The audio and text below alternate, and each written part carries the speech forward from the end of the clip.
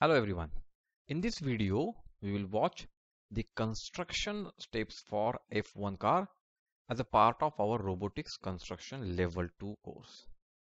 We have a few learning objectives from this video and they are we are going to understand the CurioSpark parts once again. We want to build our first twin motor vehicle we want to understand how to move a twin motor vehicle. There are some differences in the way we handled the single motor vehicles and this twin motor vehicle. We will revise how the transmission of motion happens using gears and we will also revise the speed manipulation using gears. Let's start building our F1 car. In step 1, we have lots of parts here. We have C plate, two of them we have one rectangular plate and two square plates and we also have four L connectors. So we are joining these square plates and rectangular plates using L connectors here. So the first thing, take two C plates. Ensure that the slits are in this position. In front you have these three holes and the flat sides are up. Take the rectangular plate, place it on these two C plates and take L connectors. Connect these rectangular plates and this C plate using this L connector here. So four of them connect at these four ends. Now ensure that they are connected very tightly and properly. Every side alignment should be proper. It should not be slanted. It should not be turned. It should be perfectly aligned. Edges should be parallel to each other. Once you have put those four L connectors and attached the rectangular plate and C plate together, then take the square plates. Observe the slit directions of the square plates. It is very, very important. If you see here, the vertical slits are at the rear. Here also vertical slits are at the rear. Attach them using four nut bolts. The bolts, if you see, the head is out, the tail is inside. Okay, that way we ensure that the bolts are not going to obstruct our rotating parts like wheel and gear which we are going to put on this side in our next steps. We'll go to the next step. In step 2 we are attaching the DC motor. Remove the screws of the DC motor and attach motor shaft onto the DC motor. Once done you need to insert this motor shaft through this third vertical slit here. First second third third vertical slit.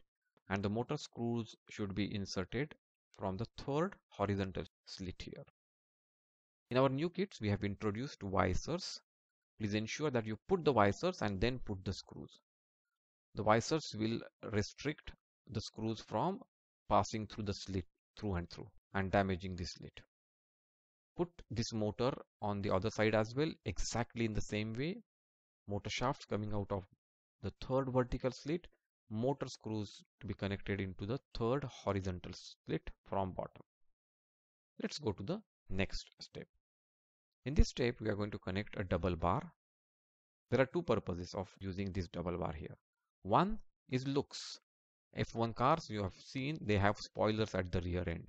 So it looks like a spoiler. Second, these two square plates are tilted inwards. They're not exactly straight here. They're tilted inwards. By putting this double bar, we make them straight. While putting this double bar, first attach the L connectors at both ends of the double bar. Separately attach the double bar with two L connectors. You can see head is down and tail is up here. Here also you can see the tail up. So you connect two L connectors. Then this assembly of double bar and L connector insert it in between and from outside put this bolt which will connect the double bar to the square plate. Same way from here also from outside head inside tail.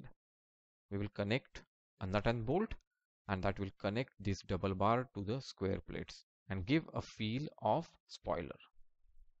In our next step, we are going to connect these to single bars. Now here we have connected single bar only with one nut and bolt this side and same way one nut and bolt this side. Head is outside tail is inside. You can see the nut here inside. So that means head is outside. Where we have connected? We have connected into the first vertical slit. Out of these three vertical slits first vertical slit here also first vertical slit and at top of the vertical slit. The second end of this single bar if you see this will align with the hole of this C plate. And that is what we want.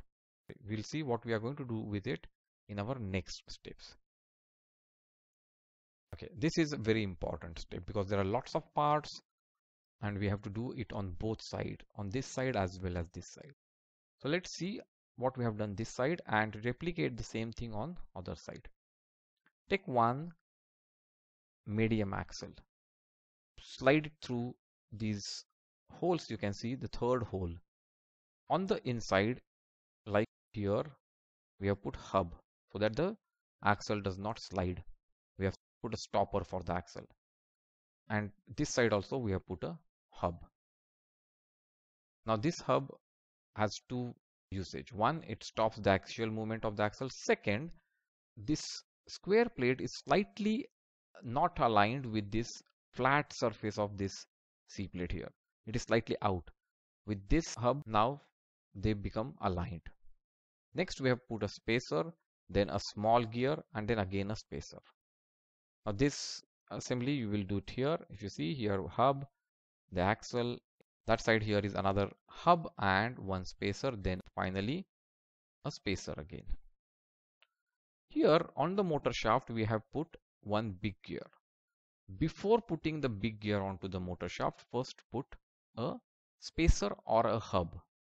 Now you have to decide what you want a spacer or a hub. You will decide that based on meshing of the gears the big gear and small gear. Their faces must be aligned so it might require one hub or one spacer. You can check that out. Then we lock the gear using a hub here same assembly on the other side. In this step we are doing assembly on right as well as left hand side. We'll go to the next step now. In step 6 we are putting the wheels. Wheels are put on the axles here. If you see the flat side of the wheel is outside and the protruding side of the wheel is inside. And then the wheel is locked with a hub. Same thing on this side as well. In the front we have seen that the single bars slit was matching with this hole here we are putting the axle through the single bar slit and through the first hole and inside here we are putting a hub. Same onto this side as well a hub. And then we'll put the wheel again. The flat end of the wheel is outside the protruding end is inside. And then we are locking it with another hub. We'll move to step 7 in step 7 we are putting this rectangular plate now again there are two reasons why we are putting this rectangular plate one is obviously the looks this gives a look of a tapering front for a F1 car. F1 cars are tapered in front. Second, it adds weight in the front and that ensures that the F1 car is not going to rise when we are moving it on the ground. Otherwise, all the weight of the motor, so many gears is on the rear. So there is a possibility that F1 car will raise from the front. So to avoid that, we have put this rectangular plate here. Now how to put it? Take the rectangular plate in your hand. First, we are not going to connect it to the C plates, just in hand. In hand, use one 1.5 inch bolt on this end and 1.5 inch bolt on this end and tight it with the rectangular plate only. The bolt is tightened with the rectangular plate only using a nut once that is done, then this whole assembly, which is the rectangular plate and the bolts will come and the bolts will slide into this slit here. The last slit and the last slit here. They will slide into that. And from the bottom of this C plate, we are going to put two more nuts. One this side, one this side. But these nuts, we are not going to tighten them completely, but we are going to rotate them only 7 to 8 times. So they will be approximately 2 millimeter from the end of the bolt. they will not go complete inside they will only go 2 millimeter inside and that way this rectangular plate will slide in front and will give a tapering shape to our vehicle that completes the construction of F1 car. Now let's understand. Here we are using the big gear onto the motor and with the small gear we have attached wheel.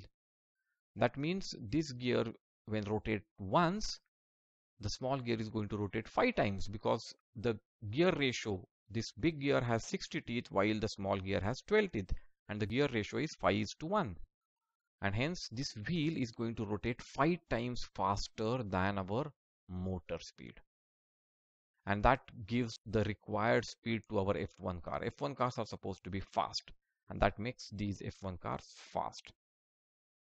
Plus if you see the motors are attached at the top and the gears are below the gears also transmit the motion of the motor from this big gear to the small gear and from small gear to the wheel so the gears also help in transmission of the motion as well as increasing the speed now how to operate this we connect two wires to the two motors here and those two wires we connect into our CurioSpark remote control. Now in the remote control you see there are four buttons, two on the right, two on the left. To take the vehicle forward or reverse, you need to at a time press two buttons but diagonally opposite buttons which means if you are pressing the left hand side front button then you have to press the right hand side's rear button. These two buttons pressed together will take the vehicle either forward or reverse. So let's assume that they are taking it forward. In that case, to make it go reverse, we will push the right hand side front button and the left hand side rear button together. That will take the vehicle reverse. Now to turn, yes, we can turn this vehicle because we are using two motors. All our vehicles which we made with using single motor they were going only in straight line path. Now this vehicle which we have made with two motors is able to turn. And to turn it what we are going to do is we are going to press either both front buttons that is right and left side front buttons or right and left side rear button that will turn the vehicle right or left even you can press only single button to turn the vehicle Pressing two buttons is going to turn the vehicle on the spot, whereas pressing only one button is going to turn the vehicle just like making a circle. Observe this turning, going forward, going reverse, understand it and enjoy operating this car. So what we have learned in this video, we have learned various CurioSpark parts once again. We have understood about how to move a twin motor vehicle. We need to press the diagonally opposite buttons and so on. We have revised the transmission of motion using gears. We have also revised the speed manipulation we get using the gears. And we have built and tested our first twin motor vehicle so what are you waiting? Go and try your vehicle and come back for the next video